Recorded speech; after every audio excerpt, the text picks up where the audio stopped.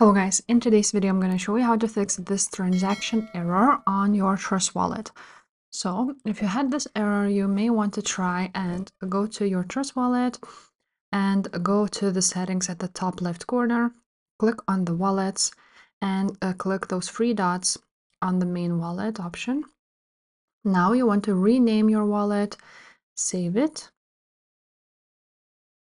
and refresh everything maybe even uh, turn the Trust Wallet off and launch it again and try to see if that fixed your problem.